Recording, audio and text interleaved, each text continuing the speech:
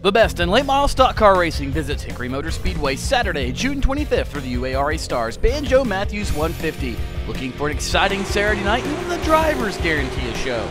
It's worn out. Roll some feathers and talk some smack. I love it. Probably one of the toughest places we go to. That's my track. Tickets start just $15 per person, $25 for a family of four. Gates open at 4.30 and racing begins at 7.30. UARA Stars, the future stars of racing are born here.